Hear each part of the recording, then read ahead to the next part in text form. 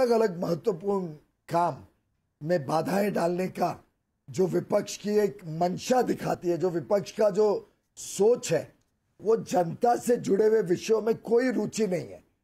किसानों की समस्याओं के बारे में जब और उसके समाधान के लिए चर्चा की बात आई तो उसमें आपने देखा कैसे विपक्ष आपस में लड़ने लग गया।